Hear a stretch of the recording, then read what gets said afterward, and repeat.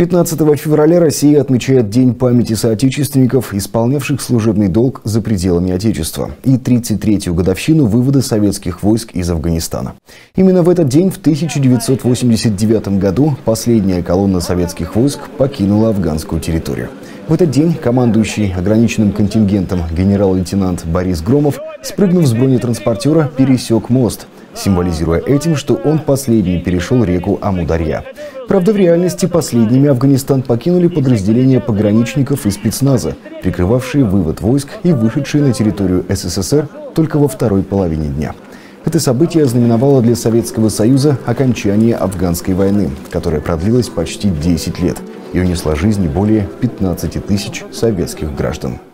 Советский Союз и ныне Российская Федерация, если брать Советский Союз, то участвовала вот в подобных, вот исполняла интернациональный долг в 27 странах.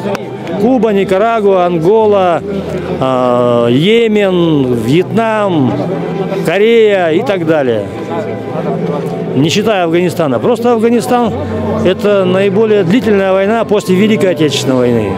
Девять с лишним лет – находились там, находилась армия, поддерживая правительство Афганистана. Для чего мы собираемся?